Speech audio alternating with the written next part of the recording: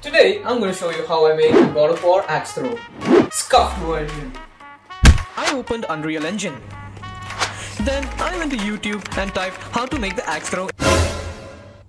I know, I'm following a tutorial.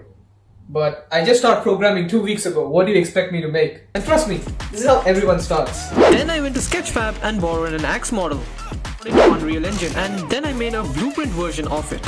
Then I attached the axe to the player's hand. I exported some animations and made an animation montage.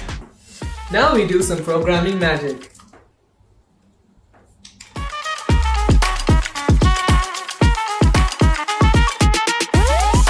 What do is to turn draw debug type back to none.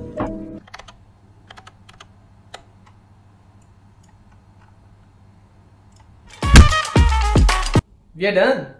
So let me just explain what I just did. In brief. So firstly, I just coded that if I press this letter E, basically I throw the axe. And when we throw the axe, I literally make the axe disappear. I know, amazing. And in God of War, it comes back in this really crazy looking way. And in Unreal Engine, this node exactly does that. And I don't know how, but it works. Are you guys ready to see the most amazing axe throw in your entire life?